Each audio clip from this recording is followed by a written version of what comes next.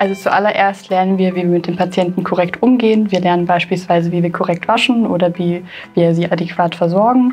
Ähm, wir lernen zum Beispiel dabei, wie wir lagern, wenn jemand eine starke Verletzung hatte, damit nicht unnötige Schmerzen entstehen. Wir lernen, ähm, wie wir die Patienten beraten, wenn sie länger bei uns waren, wie sie mit ihrer Krankheit oder der Verletzung richtig umgehen können. Und wir lernen auch, wie man korrekt kommuniziert, eben mit den Patienten, mit den Angehörigen im Team oder auch interdisziplinär.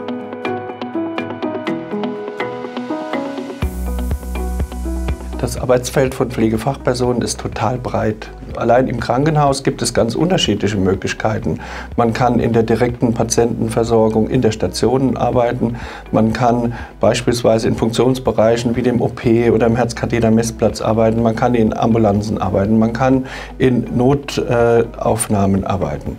Wenn man jetzt mal das äh, Feld des Krankenhauses verlässt ähm, und guckt mal in den Bereich der Altenhilfe, dann kann man in der ambulanten Pflege äh, arbeiten, die auch sehr breit aufgestellt ist. Das geht von der, äh, von der außerklinischen Intensivpflege über die Basisversorgung in der ambulanten Pflege. Man kann auch arbeiten im Pflegeheim in ganz unterschiedlichen Funktionen und Rollen auch, je nachdem, wie man qualifiziert ist oder wie man sich aufqualifiziert hat. Man kann auch in der Behindertenhilfe arbeiten, in der Eingliederungshilfe. Ähm, und Pflegekräfte sind darüber hinaus beispielsweise auch beim medizinischen Dienst äh, beschäftigt, ähm, dort in wichtigen Funktionen. Pflegefachpersonen sind äh, beschäftigt der akademischen äh, Qualifikation, also auch als Lehrerinnen und Lehrer. Und letztendlich sind Pflegefachpersonen natürlich auch im Management der jeweiligen Einrichtungen tätig.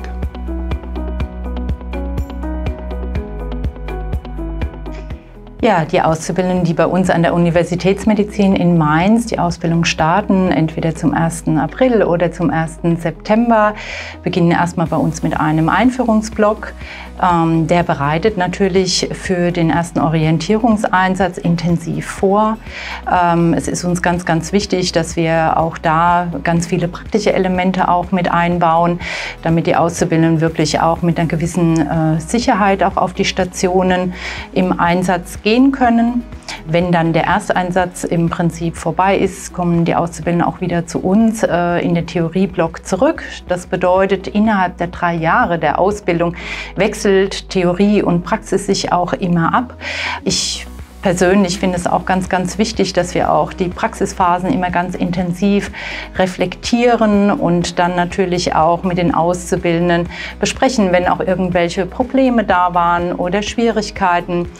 Es ist auch wichtig, dass auch die Ausbildung Freude macht und ähm, ja, dahingehend natürlich wir auch auf die Prüfungen gut vorbereiten können. Wir haben einmal eine Zwischenprüfung in der Mitte der Ausbildung, aber auch zum Ende der Ausbildung gibt es dann das Staatsexamen in der Praxis wie aber auch eben in der Theorie.